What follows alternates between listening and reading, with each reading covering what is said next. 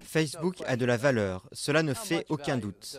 Quelle valeur cela représente et combien les investisseurs vont donner au titre?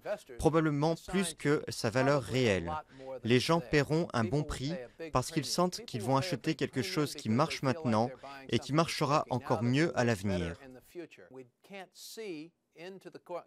Nous n'avons pas encore accès au bilan comptable, mais d'après les rumeurs, on pourrait voir une capitalisation boursière allant de 75 à 100 milliards de dollars.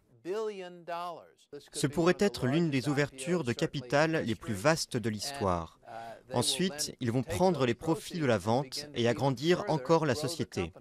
Je verrais bien un scénario type stratégie d'acquisition. La popularité constitue une force énorme. Le fait que ce soit un produit dynamique qui évolue. Pour la plupart des sociétés de réseaux sociaux, l'une des principales dépenses, c'est le contenu. Facebook n'a pas ce problème. Facebook a une tonne de contenu, c'est gratuit et tout est généré par ses utilisateurs.